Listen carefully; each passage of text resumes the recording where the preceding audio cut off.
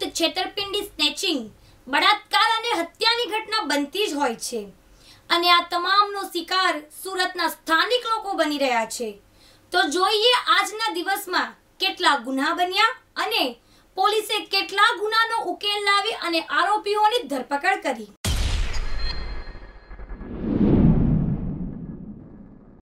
સુરતના જહાંગીરપુરા વિસ્તારમાં એક બેગમાંથી ત્રણ કિલોથી વધુનો ચરસનો મોટો જથ્થો મળી આવ્યો હતો, જેથી એસઓજીએ આ બાબતે ભાડેથી રહેતા પાર્થ ગણેશ માંડલિયાના, જે ચોવીસ વર્ષની ઉંમર અને રહેઠાણ જહાંગીરપુરા મૂળ સુરેન્દ્રનગરની નશીલા પદાર્થ અંગે પૂછપરછ કરી હતી, જેમાં તેણે ચરસનો જથ્થો ક્યાંથી લાવ્યો હતો તે જણાવ્યું હતું. પોલીસે કહ્યું કે પાર્થ માંડવલિયા છેલ્લા ચાર મહિનાથી રહેતો હતો બી ફાર્મનો અભ્યાસ કરે છે. હાલમાં પાર્થ ઓલામાં કાર ચલાવે છે. ગીર સોમનાથથી એસઓજીએ સત્તરમી ડિસેમ્બરે પાંચ લાખનો ચરસનો જથ્થો ઝડપ્યો હતો. નશીલા પદાર્થના સોદાગર સતીશ પીપળિયાને પકડ્યો હતો. સતીશની પૂછપરછમાં કુણાલ સિંધીનું નામ ખુલ્યું હતું. તેને પોલીસે પકડી લીધો તો તેણે પાર્થ પાસેથી ચરસ લાવ્યો હોવાનું બહાર આવતા પોલીસે પાર્થને ઝડપી લીધો છે. હાલમાં ત્રણ કિલો ચરસનો જથ્થો મળી આવતા સુરત એસઓજીએ પાર્થ સામે ગુનો દાખલ કર્યો છે. મોડી રાત્રે તેની ધરપકડ કરી આવતીકાલે તેને કોર્ટમાંથી રિમાન્ડ મેળવીને એસઓજી તપાસ શરૂ કરશે.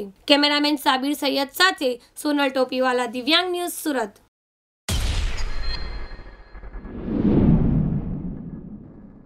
કાપોદ્રા બોમ્બે કોલોની પુલની નીચે રહેતો છવ્વીસ વર્ષીય વિનોદ ઉર્ફે બટકો મનોજ તિવારી, જે વેલ્ડિંગનું કામ કરતો હોય, જેને કતારગામ પોલીસે ચોરીના ગુનામાં ઝડપી પાડી જેલ ભેગો કર્યો છે.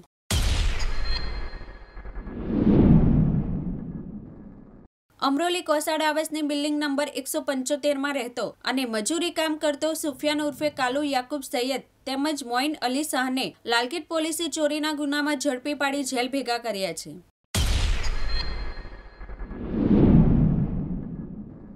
લિંબાયત ગોડાદરાની કૈલાસનગર સોસાયટીમાં રહેતો ઓગણચાલીસ વર્ષીય કલ્પેશ વિષ્ણુ પ્રસાદ કોષ્ટીને લિંબાયત પોલીસે ચોરીના ગુનામાં ઝડપી પાડી જેલમાં ધકેલી દીધો છે.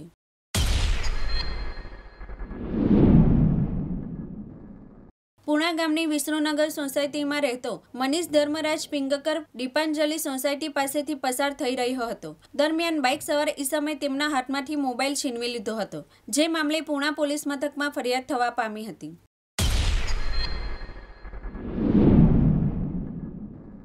કામરેજ તાલુકાના કડોદરા ગામમાં રહેતા અનિલ બાબુભાઈ માકાણી જોબ વર્કર હોય, જેઓ કાપડનો વ્યવસાય કરે છે. તેમની પાસેથી જોયા ટેક્સટાઇલના માલિક સુરેશ અશોકભાઈ ચુડાસમા સહિત કાપડ દલાલ શંકર દીપચંદભાઈ હાસણી જોબ વર્કર મનીષ લાલજીભાઈ વિરદિયા, કાપડ વેપારી Shatrughan Parsottambhai Borad, KD Bhatia dyeing and print મિલ્સના માલિક રમેશભાઈ કાપડ દલાલ મુકેશ પોપટભાઈ બલર સહિત પરેશ નામના ઈસમોએ અગાઉથી ઠગાઈના ઈરાદે એક કરોડ સાડત્રીસ લાખથી વધુનો મુદ્દામાલ લઈ તેમજ જોબ વર્કર કરાવી પેમેન્ટ કર્યું ન હતું, જેને લઈ સલાબતપુરા પોલીસ મથકમાં ફરિયાદ થવા પામી હતી. કેમેરામેન મુકેશ ગુરવ સાથે બિજલ પટેલ, દિવ્યાંગ ન્યૂઝ સુરત.